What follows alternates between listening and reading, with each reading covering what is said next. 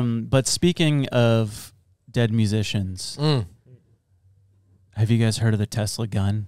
No. Oh my gosh. I know. Te- like guy created a flamethrower. I'm talking about Nikola Tesla. Ooh. Oh. No, no, no, no. He invented a weapon Oh. Nice. that I just discovered Good for him. this week. Have you also heard of the Tunguska event? No, Hmm. I'm batting a thousand today. I have no idea what any of those are. Me neither. The Tesla gun also had a nickname called the Tesla Death Ray. Nice. Are you ready for this? yes. I can't believe no one's funding my death ray. Can get funding for it. What's wrong? So we all know Nikola Tesla invented a lot of things. Yeah. Yes. Like I think someone said like 70 something percent of the inventions today are from what Tesla discovered. Yeah, he was a pioneer. Yeah.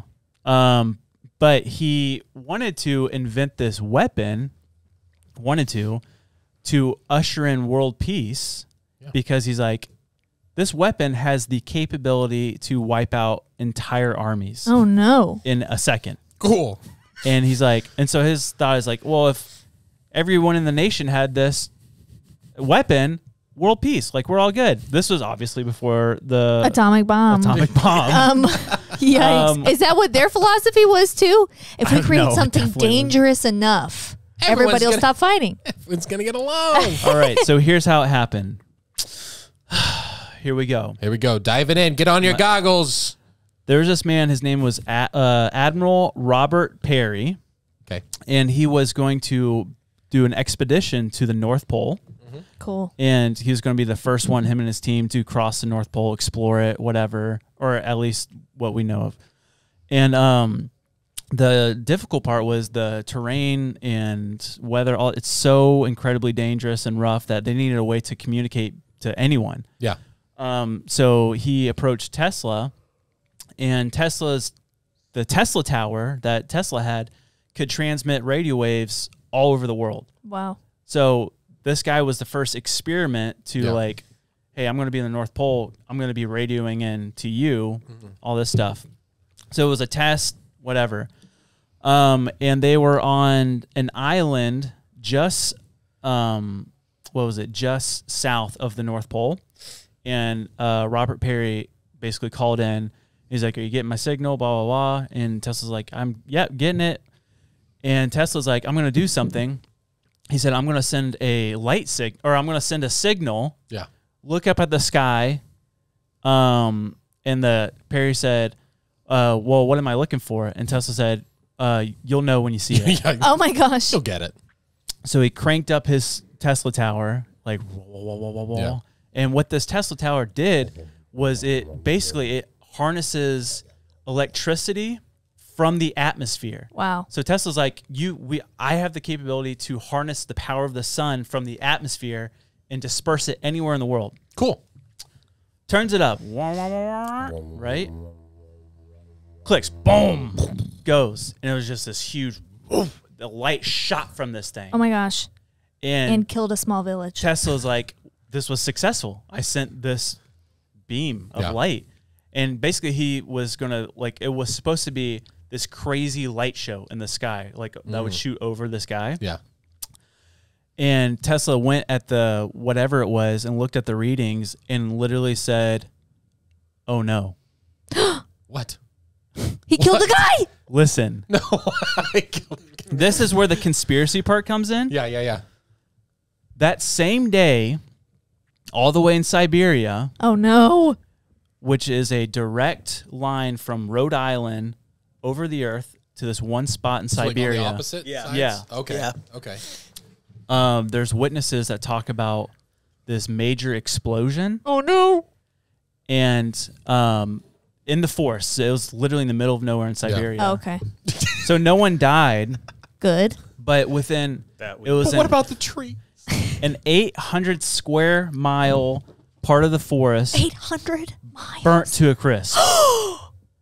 Trees were leveled instantly. Oh my gosh. and they're they're like, oh, it must have been a meteor. No crater. wow. There was no one. This was before atomic bombs. So did it go through? Did it, It- go it went, around? It went. it went into the atmosphere, and the And theory directly. is and just shot and hit the earth and instantly 800 square miles went Oh my gosh. but there are people this is where it gets crazy Yeah. it was so It's powerful already crazy. that people in as far as the uk Oh no. felt the ground Stop shake it. and then for weeks after that all across europe the sky at night was lit up with these like almost like aurora lights Yeah. but it was so bright that there's a man i think in like paris or something he said that he could read a book at midnight For how long? for a couple weeks What? and This is No. Wax. This this would Yes. explain why the like technology is buried. Yeah, and well, this is the crazy thing. When Tesla um, went to the U.S. government to file patents for this, Yeah. they kept on rejecting them. Yeah, because it's and like they were trying to cut his funding yeah. to, for him not to build this. Yes. but he built it anyways. Oh no. and then after he died, they tore down his tower and stuff. And took it to their own plant. But it makes you wonder: Did the government? Does someone have this capability now? Guaranteed. You thought that But what was is a it gonna radio do, tower at the Colorado airport? Hmm? Oh shoot. But what if it's like so? You're saying like they have to harness it and like they figured out how to like direct it because it obviously seems like is it like Yeah. a, one of the things that shot up and almost like He like a, overshot. like, like a magnet like So- just because it came like directly underneath it basically right like it Wait, what? traveled to the other side of the world right right it, it, The shoot- line. it shoots. He, Up. Yeah, shoot so up and then it went around but it was right underneath it like on the other side of the planet right uh, Not on the other side. It's It a was like- 180, not a 360. Yeah, kind of like if this is the Earth, it was like if he's here, it like went to here. yeah but then it, It but went into the atmosphere. it's almost like it, yeah because then it came but it came back into our atmosphere So it goes like up to- and it was then like it was like it was going towards the the, Think the of thing it- the tower that this it was is really what- Think of it was. like a mirror like this. maybe. I don't. I don't really know the science. Yeah. But the if you look on a map, there's Rhode Island, and then there's the um, island where Admiral uh, Robert Perry was at. Yeah, yeah, yeah.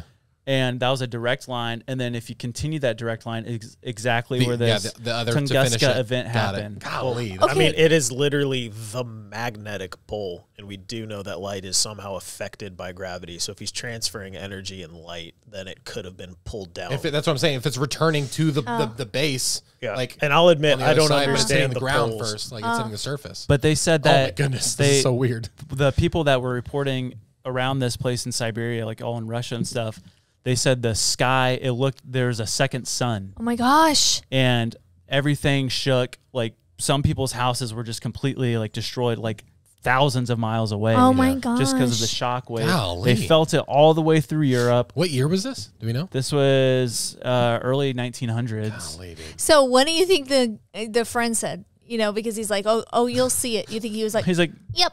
no, I think, no, I think he said like, I didn't see anything. And Tesla, that's where he's just like, oh, Oh. no. but That's yeah. literally just like the movie in The Prestige when he's like trying to um, teleport things. Oh, and he yeah. doesn't think it's working, and then he goes outside and there's like ten thousand hats.